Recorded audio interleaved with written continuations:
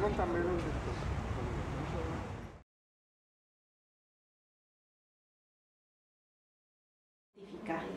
Tiene dos o tres eh, beneficios. Uno de ellos es comunicarle a, los investigadores en ciernes, pero también a aquellos que tienen una cierta experiencia, algunos de los tips que se tienen que seguir para poder publicar eh, sus artículos en revistas científicas.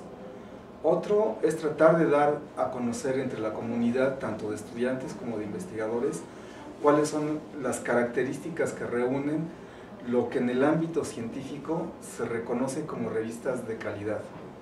Y tercero, es eh, quizás no necesariamente uno de los objetivos centrales, pero sí muy importante, es dar a conocer entre todo el medio, no solo científico, sino también en general en la sociedad, la, conformación de este consorcio de revistas científicas, de información científica eh, que, se ha que se conformado desde hace unos años entre varias instituciones del país y que tiene como objetivo el permitir que los estudiantes y científicos tengan un, acceso a una mayor cantidad de recursos científicos, lo cual es clave para hacer investigación.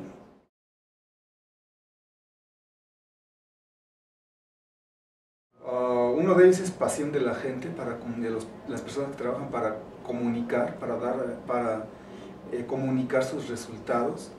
El país da ciertos incentivos por y reconoce cierto trabajo, por ejemplo, la pertenencia al Sistema Nacional de Investigadores está muy relacionada con la productividad científica de, las personas que trabajamos en este campo. Es decir, hay que publicar artículos en las mejores revistas para poder acceder al Sistema Nacional de Investigadores. Y este sistema, no cabe duda que es, es quizás uno de los mayores reconocimientos a nivel nacional que obtiene un investigador. Es decir, es el reconocimiento de otros pares de la comunidad que a uno le reconocen por sus aportaciones en el medio. Las instituciones también tienen que hacer algo para impulsar a sus trabajadores, a sus investigadores y estudiantes para que publiquen cada vez en mejores revistas y incrementen la productividad.